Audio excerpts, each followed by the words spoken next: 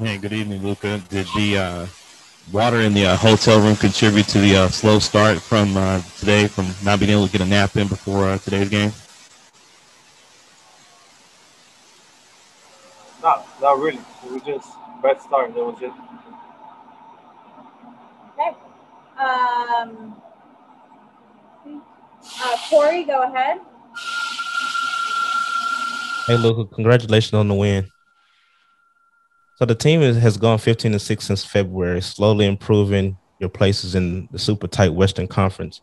What is your current outlook on the team's potential after the rocky start to the season? I mean, we can still get better, you know. Uh, this the season's long, but we can still improve. Uh, obviously, we improved a lot since the start of the season, uh, but the season is long, and we can still improve. Eddie? Luca, with all that you've been through, uh, the, the team uh, this season, uh, are you a little uh, surprised that you're now in first place in the Southwest Division? I mean, surprised? I don't know. But we've been playing good lately, like like I said. But like I said, I mean, we can still improve. So there's a long way to go.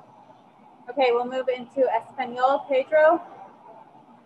Luca, buenas noches. Eh, ¿Qué tan gratificante es para ti que Kristaps Porzingis esté también jugando a un nivel al cual se le espera para cada partido? En este caso, demostrándolo esta noche.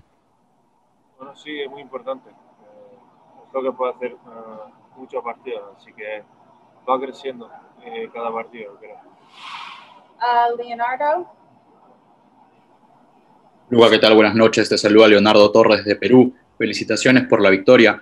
Luca, Real Madrid te eligió como miembro honorario. ¿Qué tienes que decir sobre ello? Y lo segundo, ¿crees que estás en la carrera para el MVP? Muchas gracias. Eh, es un honor, eh, es un gran honor. Eh, es inexplicable lo que, lo que he sentido cuando vi un, equipo tan grande que me haga esto. Es un honor grandísimo y lo agradezco mucho.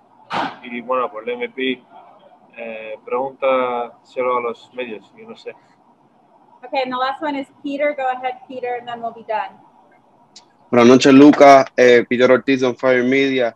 Te pregunto, ¿cuánta falta ha hecho JJ Barea en el locker room esta temporada? ¿Y quién ha eh, tomado el rol de veterano de ser lado en los camerinos? Y la otra pregunta es si has podido ver sus juegos con el Movistar, ya que ustedes son muy buenos amigos. Eh, bueno, sí, falta mucho, no solo en, en, el locker room, sino también en la pista, ¿no? Lo que él puede hacer. Eh, cosas que, por ejemplo, otros no podían, ¿no? Y creo que nos hace falta. Y sí, veo algunos partidos cuando tengo tiempo, está jugando bien. Okay, thanks, Luca. Thanks, everybody.